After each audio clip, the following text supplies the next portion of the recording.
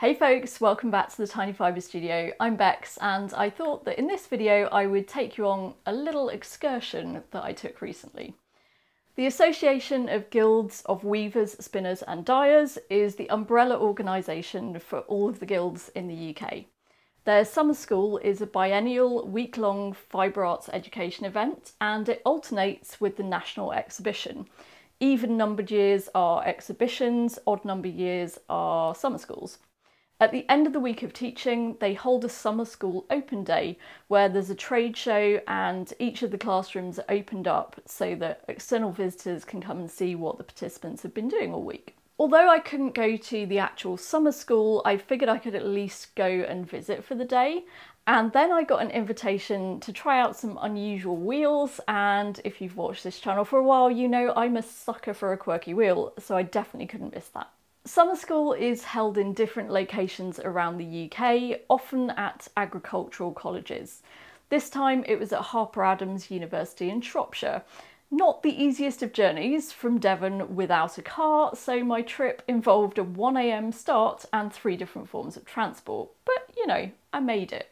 The open day started at 9am and I had some time to kind of browse around the trade show and chat to a few folks before the classrooms opened up at 12.30. I totally forgot to take photos at the trade show, sorry about that, apart from the new Majacraft Luna.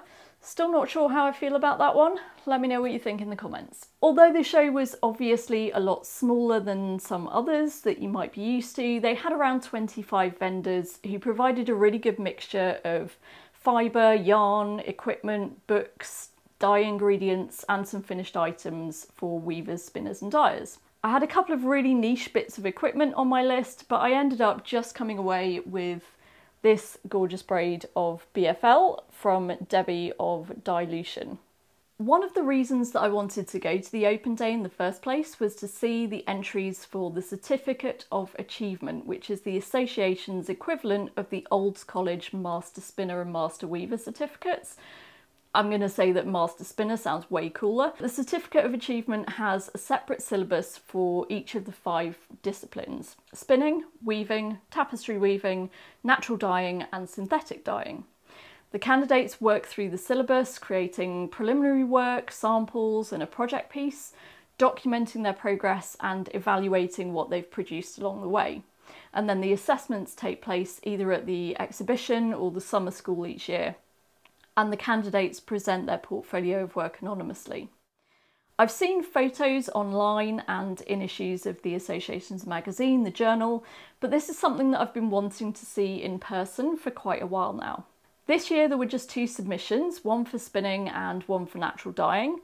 If you're interested in the full content of the syllabus, I'll leave links in the description, but I'll give you a rough idea here of what's required. For the spinning certificate, the candidate has to present nine 100 metre skeins from four different types of wool from raw fleece. Short wool, Lustre long wool, mountain or hill breed, and then one other breed or crossbreed. They also have to spin cotton, line flax, silk and two other fibres, all with supporting preliminary work and a swatch of each yarn using an appropriate technique. They must also present six skeins, at least 10 metres in length, of fancy yarns like slub and boucle and so on. And then they have to design a project piece and document their entire design process. Sincere apologies, I thought I had a photo of the finished project piece um, for spinning. I couldn't find it when I got home. So I'm very sorry about that, but I really enjoyed flipping through all of the files and seeing how their ideas had developed as they'd worked with the fibre. I had a chance to chat to the spinner later in the day and congratulated them on their achievements and they were delighted with their credit grade as well they should be. It was a lot of work that had gone into that. For the natural dyeing certificate, candidates have to show the use of natural dyes on wool, cotton, silk, and at least two other fibres on both yarn and fabric. Some samples need to show decorative use of dyes like space dyeing, dip dyeing or resist techniques. They must produce a wide range of well documented samples with detailed notes about the type of dye they used, the quantities and the decision behind using them. and there are lists of specific dyes that they must include and everything must be tested for light and wash fastness. They also need to produce a project piece along with the notes on the design and development of that piece. As with the other disciplines, there can be more than one project piece as long as they form a set. This was an incredible amount of work, which was apparently done over the course of around five or six years and thoroughly deserved its distinction grade. The project pieces were four waffle weave scarves in colours inspired by the seasons. The whole thing was just stunning. massive, massive congratulations to the dyer. I'm not sure if seeing the entries in person was inspiring or just really intimidating, but if you remember that these were done over the course of two or more years, it definitely seems a little bit more achievable. The organiser of the certificates did a talk in the afternoon, which I really wanted to go to, but I was too busy running around the campus trying to see everything before my return taxi showed up. Harper Adams is quite a sprawling campus and everyone helped each other out with trying to find different classes. I didn't take photos in every class and I still managed to miss Margo Selby's classroom, which I'm gutted about, but I'll show a few selected highlights. When it comes to weaving, I'm particularly attracted to twills and double weave. So I stopped by Cally Booker's classroom and saw some really lovely block double weave examples, but this double weave twill stopped me in my tracks. I suspect it was one of Cally's own samples because I recognise some of the others in this area and also this was done on 16 shafts and I think most people were on 8 in that classroom. There were also classes on 3D ply splitting Flax spinning, I really loved seeing all the woven samples in that class. Botanical printing, paper making, soft basketry and many, many more. I just really wish that I'd had more time to take it all in. Now about those quirky wheels that I mentioned earlier, my friend Amanda Hannaford was teaching a class called A Spindle a Day. And when I mentioned that I was coming up for the open day, she told me that I needed to go and have a play on some of her spindle wheels. Spindle wheels are not particularly common in the UK, but we do have an enormous great wheel at my guild. Great wheels are variously known as big wheels, long wheels, muckle wheels, walking wheels, and many other names throughout the world.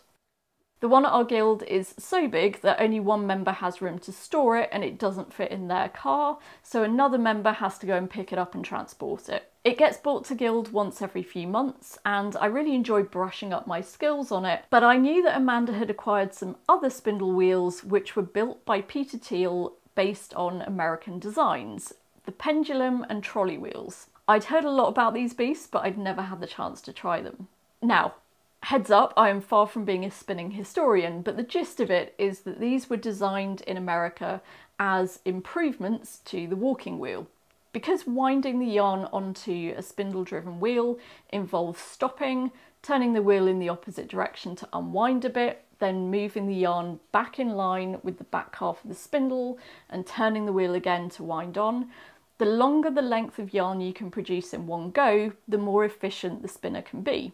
So the idea behind the pendulum wheel was that the spinner could just sit still and the pendulum arm moved the spindle away from them as they pressed a treadle. The pendulum wheel seems to have debuted in the US around the 1860s, by which time the Industrial Revolution in Britain had taken over the majority of commercial textile production over here. And although people still spun on great wheels at home for some time after that point, I'm not aware of any attempts to improve great wheels in the UK, and these pendulums specifically are really quite rare over here.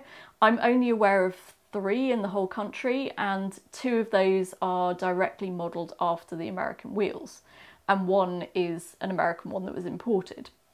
Apart from anything else, a lot of people in the UK don't have enormous houses, and so when something is no longer necessary and it takes up a lot of space, it's going to be the first thing on the chopping block in terms of getting removed from the house. My first attempt on the pendulum wheel was actually surprisingly decent to the point where I heard someone in the class commenting, well, that's not a novice spinner. So clearly it looked okay, but of course I wasn't filming that and it went rapidly downhill from that first attempt. In my defence, um, number one, it's been a while since I've spun cotton, which is what we were using on there. I also normally draft right-handed, so switching to left-hand drafting always takes a bit of practice each time. And in total, I'd probably spent about 15 minutes with it by this point. On reflection, I think my body was reverting back to the muscle memory of how fast I can go on a great wheel, but it also had to get used to the treadle mechanism and the shorter staple fibre, which wasn't allowing me to draft back as quickly as I normally would, so I should have slowed down a bit. I would love to get a really proper fluid action going on with these, or indeed any great wheel, but I just don't have the space to have one or to practice. Due to the space in the room, it was also difficult to set up a tripod at a good angle without it being a trip hazard, so the footage that I have is a mixture of myself and other people demonstrating the wheels, and we were all very new to it with not a lot of practice. So if you want to watch a video of someone spinning on a pendulum wheel after a good amount of practice and looking like they know what they're doing, I've linked a couple of videos in the description. The other unusual wheel was a trolley wheel, which is based on the same principle. The spindle is mounted to a little trolley which runs up and down a fixed track. Again, you add twist pretty much as you would with a great wheel, and you move the trolley along using a treadle. This treadle is far longer and a lot harder to press, so I definitely need to do some leg days before I try with that one again. The winding action is really fun though. So that was my very quick visit to the summer school. Here's hoping that I'll be able to attend for the whole week next time. I hope you enjoyed this little video. Thank you so much for watching and I will see you again in the next one.